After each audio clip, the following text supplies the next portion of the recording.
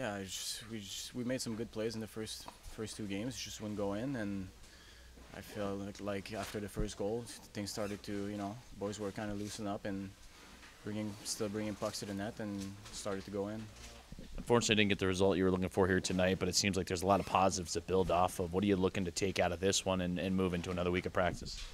Well, obviously it's not the result we wanted, but you know we- we've been uh, looking for goals for for quite a bit now, and we've got a two in the third period and trying to build on that, and hopefully uh, going home in front of our fans is going to help us uh, get on the win track.